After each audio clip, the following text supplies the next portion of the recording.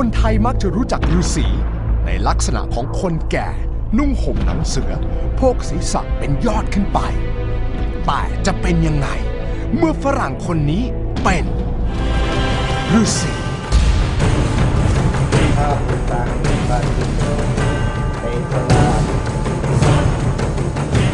วูดดี้เกิดมาคุย ตอนฝรั่งคลั่งไสยคืนวันอาทิตย์นี้ห้ามพลาด